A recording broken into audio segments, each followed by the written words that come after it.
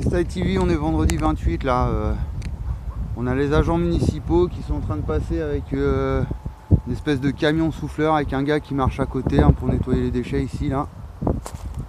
Et puis, euh, et puis voilà, et puis ils vont surtout pas le faire euh, déjà sur le chemin là où j'habite. hein. Hein, il y en a plein, c'est jonché tout le long. Et puis là ils viennent de passer, regardez. Là, tout ça. Le pare-choc, euh, ils l'ont pas enlevé, hein, je vous l'avais déjà montré. Euh, donc les mecs, voilà, ils passent avec un- une machine comme ça. Hein, tranquille, euh, passant, ils font juste le tour de la route, hein, ils font vraiment le strict minimum. Et puis à, côté de ça, là, ils viennent de passer, hein, ils laissent tous les déchets dans les. Dans, dans la nature. Là où ils sont derrière, on va au bord de la rivière, là-bas il y a plein de pneus, je vous avais emmené, il y a plein de merde qui traîne. Donc euh, voilà la logique d'État, hein, État capitaliste et espace-temps. Regardez, ils viennent de passer là. euh. Hein, Moi je sais pas, je suis un agent municipal, direct j'appelle mes collègues, je dis bah allez, hop hop hop, on nettoie tout là. Puis on, fait un peu d'élagage, on fait ça propre. Derrière il y a un mur qui est tout joli. Hein, on pourrait en faire un endroit vraiment joli à cet endroit là. Et non, ils viennent de passer, donc les mecs ils font vraiment le strict mi- minimum euh, comme ça là, ils dépensent du carburant en plus là. Hein, euh, donc euh, on a marre de ce système de merde. hein. Euh, avec ces gens corrompus et parce qu'en fait euh, j'ai bien réfléchi, j'ai analysé la scène hier. c'était pas loin d'ici là, je je me suis fait alpaguer par les flics et ils ont failli monter sur le trottoir, ils se sont arrêtés au milieu de la route.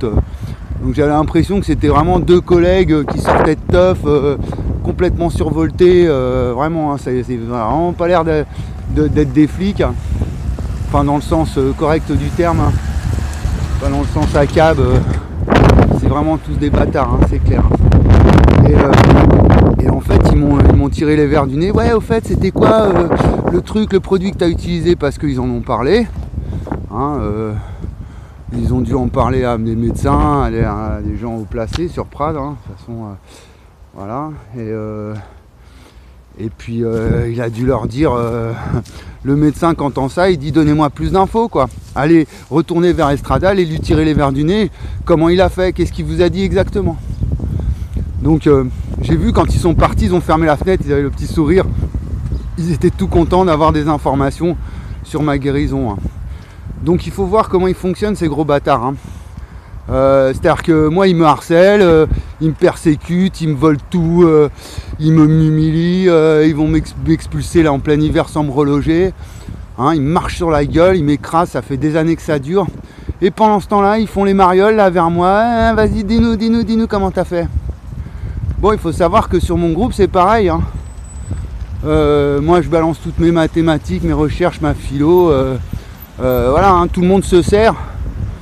Et puis derrière, j'ai aucun soutien, rien du tout, hein, aucune aide. hein. Hein. Après, mes amis, c'est pareil. euh, ah, bah j'ai un bon pote, dis donc, Julien, c'est un bon copain. euh. ouais, ouais. Alors, euh, ah, il fait des découvertes, il est, il cool ce mec, donc ils me prennent toute mon énergie. il me parle pendant des heures de tout, de rien.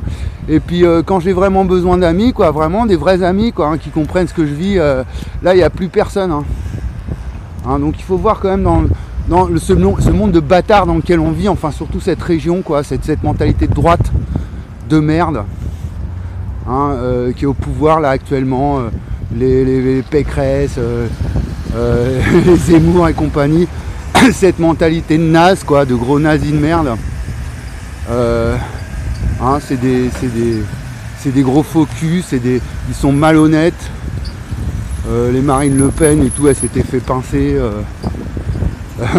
fraude, euh, euh, détournement d'argent. Donc voilà, tous ces gens-là, c'est des gens malhonnêtes euh, qui se croient en plus être dans le bien, faire le bien et s'attaquer au mal, au méchant gauchiste, lui qui ouvre la porte du démon quand le gauchiste est là, c'est que le diable est pas loin. hein. C'est moralisateur et tout, alors qu'en fait, les vraies ordures, c'est eux, hein. Hein, les, les- les vraies pourritures. hein. Donc voilà, c'était là, ici. Hop, ils se sont arrêtés là et ils se sont mis là. Ils voulaient monter sur le trottoir. En fait, ils s'arrêtaient tout de travers. Ils étaient de travers comme ça. euh, il y avait les voitures qui arrivaient là. Il y a un gros camion qui, a- Il y avait les voitures qui arrivaient derrière, qui étaient obligées de faire les tours. Ils étaient là, ils me tiraient les verres du nez. Comment t'as fait? C'était quoi déjà le, produit que t'as utilisé euh, pour guérir Donc euh, voilà, moi je me marre parce que la vérité, elle est ce qu'elle est. Hein. De toute façon, moi j'ai mis, j'ai mis, ça fait 8 mois que je suis dessus quoi. Hein. Juin, juillet, août, septembre, c'est ça, ça fait 6, Là on arrive fin janvier, ouais ça va faire 8 mois. 7 euh, mois quoi. Attendez je passe. Que je suis sur le, truc. Euh, euh, j'ai vraiment galéré quoi. J'ai vraiment, vraiment, vraiment, vraiment galéré pour guérir. Hein. Ça a été un effort surhumain quoi. Comme aussi pour nettoyer ce squat, comme pour arriver à mon arithmétique, comme pour découvrir ma philo. Hein. Moi, ma vie c'est une vie de sacrifice, une vie de souffrance. Euh, où je suis en guerre contre tout le monde. Euh, enfin, je suis même pas en guerre, hein, c'est juste que je suis entouré de cons, quoi. Hein. donc, euh, du coup, bah, je suis obligé de me, défendre. Quand j'ai des prédateurs tout autour de moi et des gens stupides et, voilà et velléitaires, quoi. Donc, qui me la font à l'envers systématiquement, ils me font passer moi pour le. donc, donc bon, donc après, la vérité, on peut rien y faire. On peut, peut pas aller contre.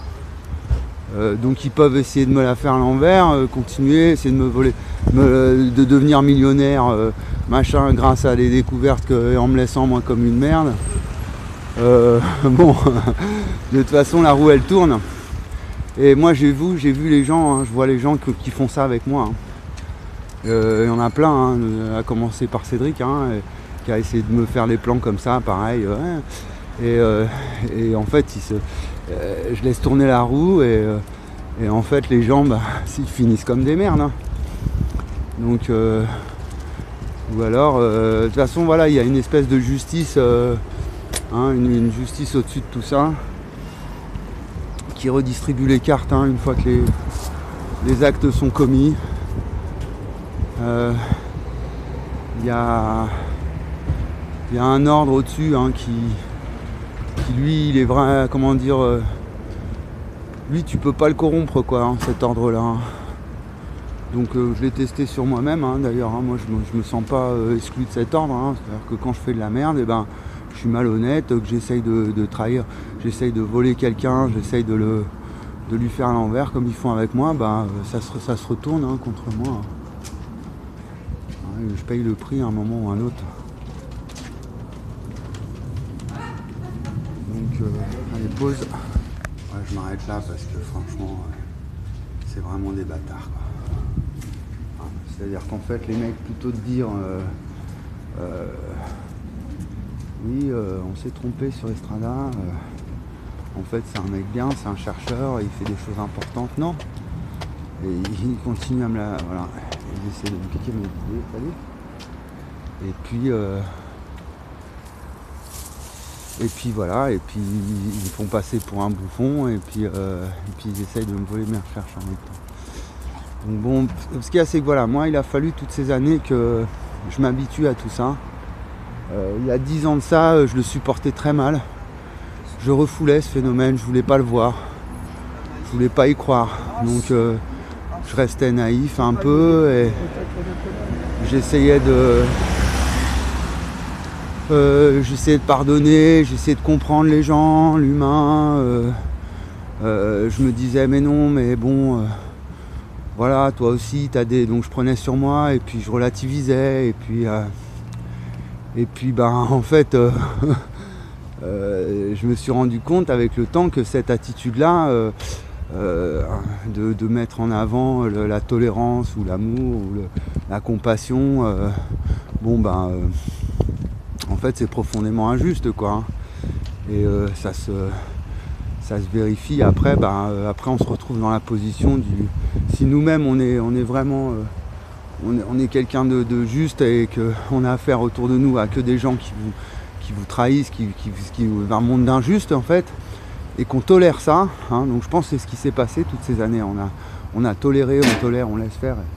Et, ben, on finit, ça, finit, on en devient le, le, bouc émissaire, hein, vraiment. Hein, on devient vraiment l'objet de la, torture. On se retrouve torturé euh, psychologiquement, moralement, euh, physiquement même. Euh, donc bon, alors j'ai écrit une lettre, enfin j'ai finalisé la lettre que j'ai écrite hier à l'huissier. où je reprends un peu brièvement en deux pages, hein, pour pas trop le saouler non plus, sans aller dans le détail, mais en précisant dans l'introduction vraiment que cette euh, expulsion elle est abusive. J'ai mis à le titre de la lettre, euh, j'ai mis arrêt immédiat des poursuites judiciaires contre Julien Estrada. Donc j'ai décrété ça par moi-même. Hein. C'est-à-dire que là je vais là je vais leur mettre la pression quoi. Enfin je vais pour l'instant c'est plutôt eux qui me la mettent mais mais voilà hein, comme je vous dis moi je, sais que j'ai la vérité avec moi euh, donc voilà, euh, et, je lui ai envoyé une lettre que, une lettre que j'ai envoyée au préfet, que je ne l'ai pas envoyée en fait, mais que j'avais écrite pour le préfet en début d'année. Une lettre euh, au procureur de la République, que celle-là je vais certainement l'envoyer avec avis de. avec recommandé hein, si, si, m'expulse hein, par la force.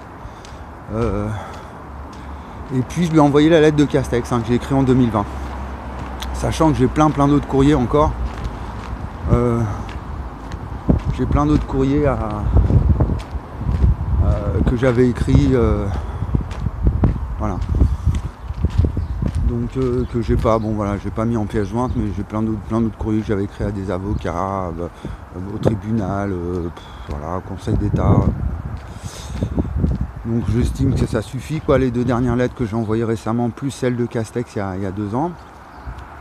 Euh, euh, donc on va voir s'ils vont tenir euh, vont tenir rigueur. Je l'appellerai bien cet après-midi, voir s'il l'a bien, bien reçu, s'il l'a bien lu et s'il va venir toujours lundi. en même temps, voilà, il m'avait dit que il viendrait sans la police. Donc euh, avec cette lettre, je prends un risque parce que peut-être que justement il va changer d'avis et il va réussir à mobiliser euh, les flics. Mais à partir du moment où, euh, enfin, il va faire appel à la, force publique. Hein. À partir du moment en plus où, bon bah, il y a les policiers qui me la font à l'envers, qui me tirent les verres du nez, qui veulent savoir comment j'ai fait ma guérison et que en plus s'ils viennent m'expulser en plus avec la, la, force publique, bon en fait avec plus, le temps passe et plus, ça rajoute des éléments au dossier quoi en fait. Hein. Plus ils s'enfoncent, hein. ils s'enfoncent dans leur, euh, euh, dans, leur, mauvaise foi, dans leur, euh, comment on appelle ça quoi. C'est, innommable en fait tellement c'est ignoble parce que voilà c'est des, agents de, à force de l'ordre qui sont censés nous protéger en fait. Hein. Ils sont en fait ils sont censés nous protéger les gens honnêtes. Nous protéger des, malfrats quoi en fait hein, et des, des, faussaires, des gens qui qui respectent pas la loi.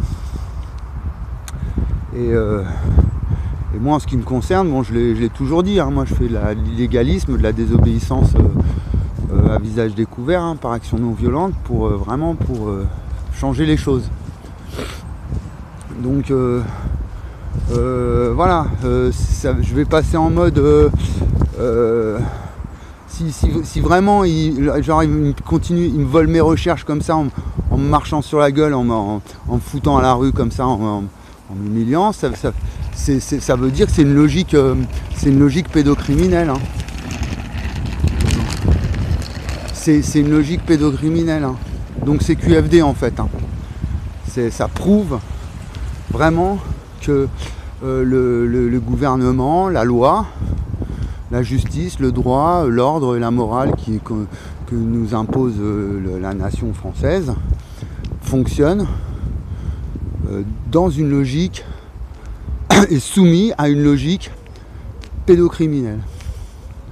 Parce que voilà, quand on apporte une vérité, une vérité scientifique et d'être traité de cette manière, comme un, comme un môme hein, qu'on va culpabiliser en lui volant son, son énergie, sa jeunesse, son, son élan, hein, c'est ça, hein, c'est tout à fait ça c'est une logique pédocriminelle. Donc du coup, moi je pense qu'ils vont le faire, et je pense réellement que c'est une logique pédocriminelle qui nous gouverne. Donc, donc on va passer en mode voilà, on va passer en mode guerrier, quoi, obligé, hein. Obligé. Et, de toute façon, voilà, ils peuvent tout essayer, ils pourront rien m'enlever, hein, de toute façon. Puis après, de toute façon, ils sont tellement stupides, tous ces gens-là, ils ont beau être maléfiques, hein, c'est un peu comme les dessins animés, quand ils s'appelaient Satanas et hein, où on les voit, ils essayent de tricher tout le temps. C'était quoi ce dessin animé déjà Les courses de bagnole là où. Euh, et puis on voit les deux méchants qui sont là, qui ont des plein de gadgets et tout pour faire échouer, pour, euh, pour arriver premier euh, et faire échouer leur, adversaire. Ils utilisent de tous les stratagèmes machiavéliques et démoniaques. Et, en fait, à chaque fois ils se loupent parce qu'ils sont, ils sont stupides quoi en fait. Hein. Il y a Bip Bip le coyote aussi. bip Bip et le coyote là. bip Bip. Euh, voilà, donc faut que je m'imagine un peu comme ça, quoi, avec des, espèces de coyotes euh, prédateurs euh, voraces qui sont là, ils veulent ma peau, ils veulent me bouffer et tout. Et puis bah moi je suis en mode bip bip. et puis et puis voilà quoi, et puis on va s'amuser. Hein. Il y a quoi? Il y a Tom et Jerry aussi, mais bon moi j'aime bien les chats. Hein. J'ai rien contre les chats. et ils sont sympas, mais puis bon, moi je suis content quand ils me débarrassent des souris. Bon après c'est des dessins animés, c'est vrai que dans la réalité, euh, voilà, hein, le chat il la bouffe, hein, la, souris. Hein, c'est un Tom et Jerry, bon c'est gentil, c'est un dessin animé, mais dans la réalité. Donc euh, voilà, il y, a beaucoup de gens qui sont victimes de ce système euh, et qui souffrent et qui sont vraiment victimes de, cette corruption, de, ce, de ces mensonges, ces malversations sous l'autorité, sous le. Ah bah alors, eh bah bonjour, bah ouais. Il est là-bas, copain. Ah bah oui, bonjour. Ah, n'inquiétez pas. Il est là-bas, euh, copain. Va le voir, va le voir. Il est où, copain? Elle est belle, hein C'est une belle petite. Euh, c'est une staffie, je sais pas. Parce que c'est un. Bah oui, bonjour. Ah bah oui, oui, oui. Non mais l'engueulez pas, hein, je suis habitué au chien, hein, c'est bon. Les gens sont cons, les gens sont cons. Viens ici, Gaïa.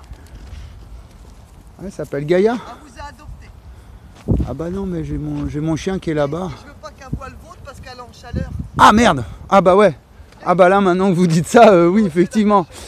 Ok, ouais, mais non, non, mais dépêchez-vous parce qu'il arrive. Puis je vais l'attacher moi aussi, je vais passer parce que... Euh, ah ouais, bah merci, vous avez bien fait de me le dire. Il me semblait bien que j'avais l'impression qu'elle était bien grosse, ça. Foufoune bien grosse. Viens là. Attends, parce que là, il y a une, petite staffie en chaleur, là, mon gars. Hop Voilà, on va faire comme ça. ah ouais, puis là, elle y va, elle a envie d'y aller. non, non, non. Hop. Ok, bon. Donc voilà, c'était une pause, une pause canine devant le canigou. Il y a, voilà, il manque de la neige. Hein. Fin janvier. Euh, il fait des chaleurs euh, bon, qui sont vraiment euh, pas du tout habituelles. Hein. Moi je vois même en 5 ans, euh, jamais j'ai vu des chaleurs pareilles. En janvier quoi, je savais qu'il faisait beau même en janvier, mais là. donc ça prouve qu'il y a eu ces dernières années, il y a eu une accélération vraiment du réchauffement. Hein. ça se sent. Hein. D'année en année, ça se sent de plus en plus. Donc voilà, moi je pense que ce que je fais c'est trop important pour l'humanité et pour le reste de. Attends, là. Hop là. Pour le, reste de l'histoire, hein, pour l'histoire sur Terre. Donc, euh, euh, du coup, voilà, hein, je lâche pas l'affaire bon, je sacrifie ma vie, mais euh, bon, c'est usant à force, mais bon, moi, ça me rend de plus en plus fort. Hein. Donc, et puis, moi je vois simplement que j'obtiens des résultats. Donc euh, euh, bon le problème c'est que je peux pas travailler, je peux j'ai beaucoup de mal à avancer quoi. En étant comme ça dans cette situation euh, un peu on se fout de ma gueule tout le temps, persécuté, tout ça, bon avec peu, de moyens, pas entouré du tout, bon j'ai vraiment du mal à avancer et c'est là où bon des fois parfois je me mets en colère parce que bon je me dis euh, voilà, les gens, euh, c'est pour tout le monde que je fais ça, c'est pour les générations futures, quoi. hein. C'est pour euh, même présente, quoi. hein. C'est pour. Et en fait, bah voilà, en me laissant comme ça de côté, euh, en étant euh, indifférent à ce que je fais, bah du coup à chaque fois là c'est symbolique. hein. Euh, qui c'est qui, qui c'est qu'en profite bah, Les prédateurs. Voilà. C'est-à-dire que comme les gens qui sont censés m'aider, quoi, des gens qui, sont, qui ont du cœur et de l'intelligence, et euh, ceux-là ils devraient être là avec moi, hein, ils devraient me soutenir. hein. Et en fait non, euh, euh, c'est les gens sont lâches hein, en fait, ils ont peur. Ils sont feignants, je sais pas, ils sont, ils sont, ils pas assez d'imagination, ils ont pas assez de, tripes. Les gens qui sont, qui sont censés m'aider. Et euh, voilà, où il manque de cœur, où il manque de, je sais pas, d'intelligence. Et du coup, bah, ça profite aux criminels, aux menteurs, aux faussaires, aux, prédateurs. Et c'est comme ça qu'on se retrouve avec des grands terrains de rugby comme ça, hein, qui servent à rien, qui ont apporté plein de thunes aux entreprises, bon voilà, qu'on fait politique des grands travaux quoi. Un truc qui sert à rien, c'est moche ça. Euh, c'est du vol, hein, il a exproprié les gens, il a bon voilà, c'était c'est vraiment de la malhonnêteté euh, 100%. Et puis bah, celui qui est à l'origine de ça, bah, il est à la tête du gouvernement. hein. Et puis bah, il appelle mon pote, euh, voilà, tous les jours, hein, à 5h du matin, à 2h du matin, des fois. hein, et puis il est amoureux de lui. Alors que le gars, c'est un pauvre teubé euh, qui a là en cotorep, là, qui est tout, tout- perdu, là. Qui voit des démons et des anges et des machins. Et il croit que je lui, là, je lui jette des, des- Il pense que je lui jette des... Je fais de la magie noire sur lui, alors que ai rien foutre, hein, de la magie noire. euh. Moi, je fais juste fonctionner ma raison. Alors, s'il appelle ça de la magie noire, bah, s'il veut, hein, mais... euh, voilà, c'est juste faire fonctionner son, cerveau, son cœur. Et puis, euh, donc voilà, bon,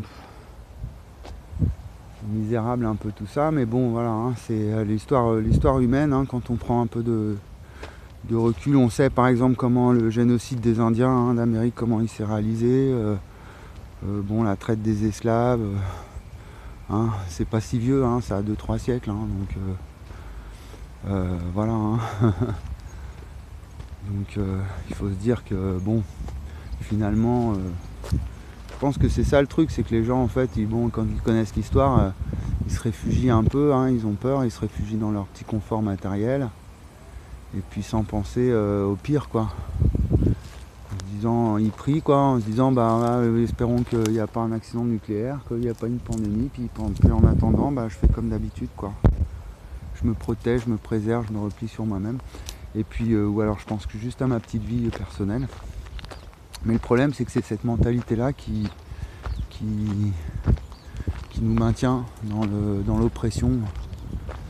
Et, euh, faudrait un grand élan d'intelligence, un, élan du cœur, mais plus, euh, plus intelligent que les anciennes générations. Quoi, parce que c'est vrai que là, je vois- j'ai vu, il y a des grands rassemblements de prévus, bon, rassemblement national. hein. Rassemblement, euh, euh, c'est orchestré par des syndicats, des gens, bon voilà, les gens qui organisent des manifs, soi-disant c'est spontané, c'est démocratique, mais de toute façon, ils n'ont pas, euh, ils ont pas la solution, donc euh, enfin ils l'ont pas construite, rien du tout. Et, et ceux qui, voilà, et c'est euh, des gens comme Macron, voilà, euh, j'ai entendu, il veut faire une banque du temps, donc là c'est signé, hein, c'est vraiment, euh, il me vole mes recherches euh, pour essayer d'en faire un business. euh. Hein, moi je l'ai entendu dire à une conférence comme ça, bon j'écrase le temps, il faut écraser le temps, écraser l'espace. Aussi pendant le confinement, hein, Castex venait de devenir euh, ministre du confinement et on entend Macron qui parle d'espace-temps au sujet du confinement. Bon en fait euh, moi simplement euh, ils confirment ma théorie ces gens-là. hein. Ils, s'approprient le temps, ils marchandisent le- l'espace, euh, ils exploitent le temps des gens, ils exploitent la vie, ils respectent rien, ils, com- ils comprennent ni le temps ni l'espace hein, en fait, hein. ils n'ont aucun respect. parce que dé- déjà s'ils avaient déjà compris le truc, et ben déjà ils me respecteraient moins quoi.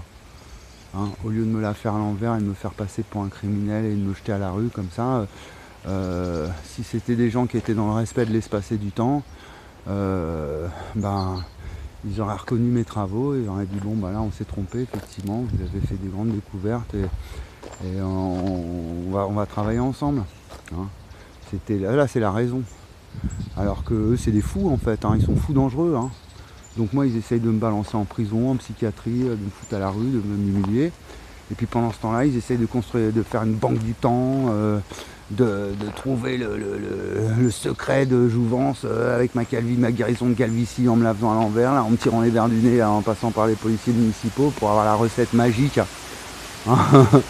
Euh, recette magique encore plus meilleure que l'adrénochrome quoi. hein. Moi je trouve un truc, je les ai niqués.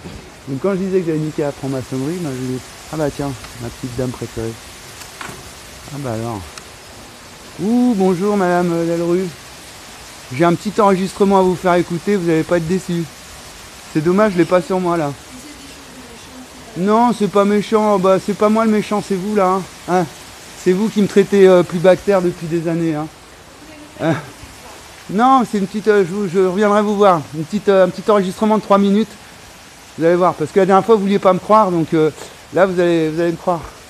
J'ai une preuve. Allez pas être déçu. C'est l'enregistrement de Cédric et Castex. Parce que la dernière fois, bah, d'ailleurs, je, crois que je l'ai laissé même hein, sur hier. Vous allez me dire, ouais, mais vous avez fait une découverte, mais euh, hein, c'est la déléguée de quartier. Mais vous n'avez pas d'argent pour déposer le brevet, donc euh, vous êtes trop pauvre. Elle m'a bien fait à l'envers pendant des années, elle aussi.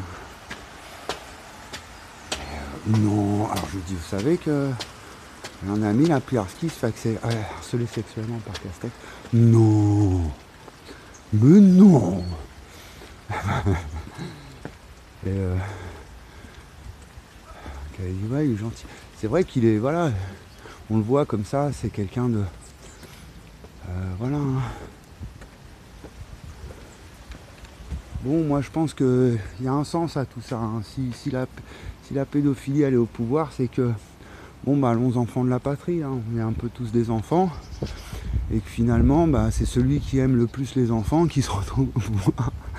C'est peut-être les plus. euh, les plus affectueux, quoi. Donc, euh, voilà, parce qu'on est, on garde tous notre cœur d'enfant, quoi. Mais le problème, c'est que bon, quand on fait un peu de psycho, tout ça, euh, on voit qu'en fait c'est une déviance, hein, puis c'est une espèce de viol psychologique. Et que même si, euh, enfin, plus qu'un viol psychologique, même, même si on garde notre cœur d'enfant, euh, un adulte qui vote, hein, le droit de vote c'est la majorité, c'est 18 ans, c'est un adulte, c'est un homme hein, ou une femme hein, responsable. Et, et donc, euh, alors qu'un pervers narcissique, c'est un, c'est un, adulte qui n'a pas voulu, qui est resté enfant, qui est resté bloqué. Mais, mais l'enfant, l'enfant sadique, quoi. Hein, l'enfant qui, on voit dans les cours d'école, à la cour de récréation, bon, on voit hein, les rapports entre les enfants, si on les laisse faire un jeu de main, un jeu de vilain, euh, quand on laisse les enfants entre eux, euh, hein, ça peut déraper. C'est pour ça qu'il faut toujours un peu des éducateurs. Kéro, viens là Hein, On les laisse entre eux, ils s'entraînent euh, vers le pire, quoi. très rapidement, il y a des mécanismes sadiques qui se mettent en place entre les enfants. Donc, bah avec leurs masques et tout. Ils sont graves. Les gens sont devenus fous hein, avec ce, Covid. hein. Ils étaient déjà pas terribles avant, mais alors depuis qu'il y a le Covid, alors là, c'est bon. hein. Ils sont complètement graves. Elles sont toutes les deux avec des masques FFP2 dans leur voiture, quoi. je, je sauve des sièges, je porte un masque et je sauve des sièges. J'avais mis ça. Attention, reste pas au milieu, s'il te plaît. Allez-y, allez-y.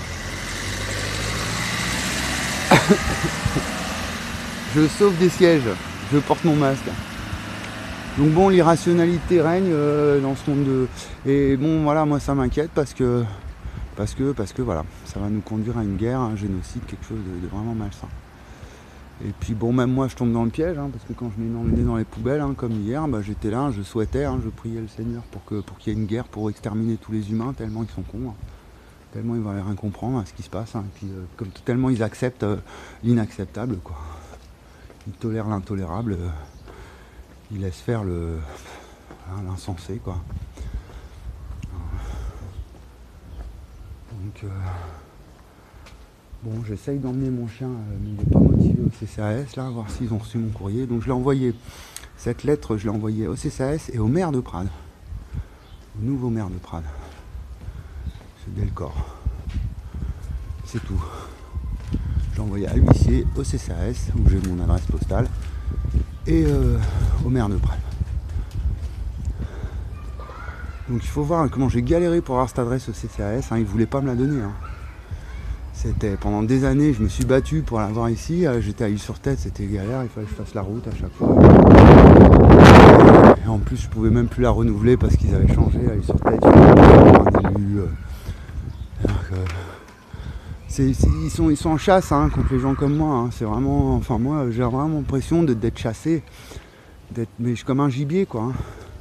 C'est-à-dire qu'ils me traquent, ils, surveillent toutes mes petites méthodes, mes petites techniques, pour m'adapter au système, et bam, pour me briser, pour me casser, pour m'enlever mes, mes droits, euh, m'enlever mes. Mais voilà, ils sont tombés sur un des. sur le, certainement le, le, philosophe qui va, qui va marquer sa génération. C'est ça le problème. Et euh, voilà, ils sont tombés sur un os. Parce que quand je dis que je refonde tout, donc dans la lettre que j'ai écrite ce matin, euh, monsieur à l'huissier, là, maître Solé, euh, je lui dis bien je refonde tout, hein, même l'économie, la sociologie, même le droit, hein. donc la politique. Bien Kiro. Donc euh, je leur balance ça comme ça, voilà, ça les déstabilise, ça les rend encore plus haineux hein, en fait quelque part. Je les pousse en fait, hein, je, les, pousse dans leur retranchement, là, jusqu'où ils peuvent aller quoi. Dans leur, euh, mépris, leur haine, leur mensonge, leur ignominie quoi. Voilà. Et leur petit réseau franc-mac euh, hein, qui pourrit tout le, système. Ah, école primaire Jean Petit. C'est pas Jean-Pierre Petit, c'est Jean Petit, c'est pas le même. Parce que bon, Jean-Pierre Petit, même il a bien fait à l'envers. Je lui avais écrit une lettre et puis euh, deux fois je lui ai écrit pour lui annoncer mon arithmétique. Oh là là euh, Cours de récré. Et, euh, voilà, je vous disais, les enfants, il y a un côté irrationnel chez les enfants. hein, Quand on écoute une cour de récréation, bah voilà. Ils hurlent comme ça. Bon, bah, un adulte qui fait ça, direct, on l'envoie en psychiatrie. hein. Euh, si on se retrouve dans la rue puis on commence à faire Ah on appelle les flics, on appelle la psychiatrie. Alors que là, c'est une cour d'école, donc voilà, il y a une racine, il y, a, une racine irrationnelle hein, il y a, quelque chose d'irrationnel chez lui. Bon, c'est l'espace-temps, hein, du coup, hein, c'est ça qu'il faut creuser, même, la pédagogie, même le- l'enseignement, je refonds tout, tout, tout avec mon truc. Il crie comme ça. Ah, bon bah on a l'impression, ouais, hein, logique pédocriminelle, on a l'impression qu'ils sont en train de se faire violer par des par une bande de satanistes. bon, on va voir le CCAS, là. je vous emmène ou quoi Tu viens Kiro? Oh là là, il est pas motivé hein, Kiro là. Allez Kiro, j'en ai pour deux secondes, juste je leur demande s'ils ont bien reçu mon courrier. Viens là, viens ici. Allez viens. Tu m'attends. Bah va, faire ton truc, tu m'attends. Ah, je suis très autoritaire avec mon chien, vous avez vu Donc, euh, ouais, je vais vous emmener, je vais faire comme si j'avais pas de je vais le tenir à la main comme ça. On va rigoler un peu. Je fais une pause, je vais mettre mon masque. Mon.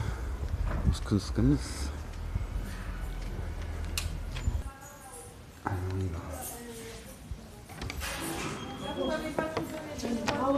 va. Je vais vous dire bonjour. Bonjour. C'est la poste, la poste, c'est pas. Alors, je vais vous dire ça. Bah, la poste, c'est quoi? Parce que j'ai rien compris. Ça, c'est le récapitulatif des frais. Bon. Bon, en fait, euh, ah bah t'es là, Kéro. Bon, en fait, ce qu'on va faire, on va aller à la mairie, au château Pam, c'est où il y a le maire. Et puis je vais leur dire, je vais aller les voir, je vais leur dire que j'ai envoyé un courrier au maire. Et j'aimerais qu'ils me donnent une réponse euh, rapidement. Hein, c'est une bonne idée. Parce qu'en fait, je cherchais l'adresse de, de- Je voulais pas l'envoyer au maire en fait. hein. Je cherche, cherche sur internet et tout, puis euh, je vais sur la page de la mairie, je voulais l'envoyer à l'accueil, à la police en fait. Parce que je leur avais dit que j'enverrais le. Et puis bah en fait j'ai pas trouvé le mail de, le mail de l'accueil. Ah bah tiens ils viennent de passer. Les bâtards. Et, euh, et du coup euh, euh, j'ai vu le mail, de, le mail du maire. Donc euh, je l'avais jamais vu physiquement, en plus avec sa photo et tout. Je crois qu'il est tout bib. Donc c'est peut-être lui qui veut le. qui a dit au policier donnez-moi la recette, la formule magique pour retrouver toute sa santé et retrouver ses cheveux. On va devenir millionnaire et. on va niquer le marché de l'adrénochrome. Donc, euh, euh, non, bon, bah voilà. Donc, je vais couper, je vais aller à la mairie. Euh, je vais essayer de prendre rendez-vous directement avec le maire de, le nouveau maire de Prades. Hein, et puis je vais lui dire euh, bon euh, vous êtes je vous tiens personnellement responsable de ce qui va m'arriver dans les jours qui viennent quoi. Hein, si je me retrouve à la rue, voilà, ça sera vous le responsable. Je vais lui balancer ça. hein. parce que maintenant vous êtes au courant, vous avez la lettre que j'ai envoyée à Castex, vous êtes au courant de l'affaire. Donc voilà. Ce sera à vous de répondre euh, de vos faits, euh, de votre responsabilité quand euh, si un jour on retrouve une justice digne de ce nom hein, dans ce pays, dans ce pays de merde, corrompu jusqu'à l'os. Ok, allez. Bon, je coupe parce que j'avais branché la caméra, ça va me vider ma batterie. Pas la caméra là, mais le flash de la caméra. Donc là, on est à 35 minutes, c'est pas mal. Allez, à plus, Freestyle TV.